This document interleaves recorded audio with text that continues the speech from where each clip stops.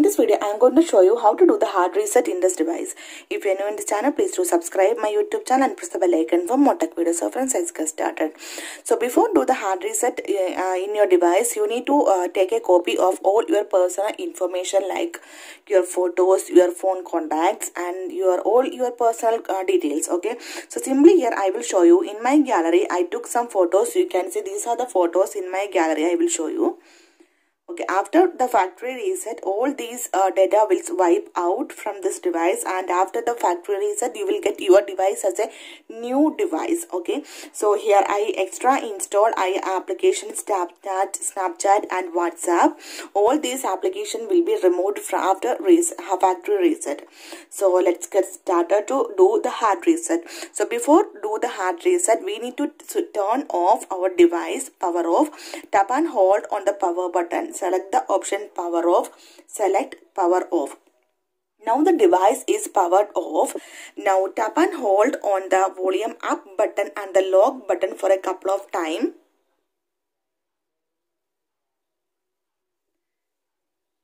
Yeah. Now just wait for few seconds. Now you can see the factory reset is started to select the option, we can use the volume up and down keys. Now the touch is not working, you can see. To confirm the option, select tap on the lock button. So select the option wipe data for this uh, tap on the volume down button to confirm tap on the screen lock button then tap on the wipe all data select this one using the lock button then tap on confirm. Then tap on the volume down button. Tap on log button. Data wiped successfully. Select this uh, lock button. Tap on reboot reboot to system. Now just wait for few seconds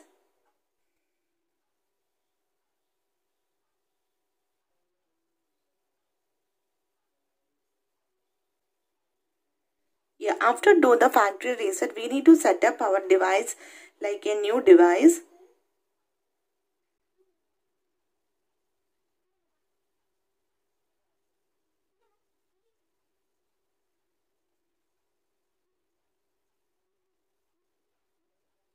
You can see, you can see setup complete.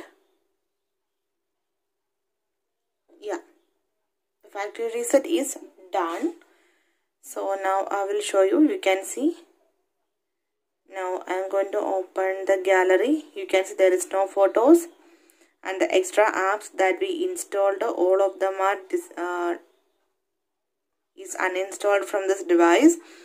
So simply in this way you can uh, do the hard reset in this device. And please note that before do the hard reset you need to take a copy of all your personal details okay so hope you guys enjoy this video. If you like this one please like and share and don't forget to subscribe this channel for more updates.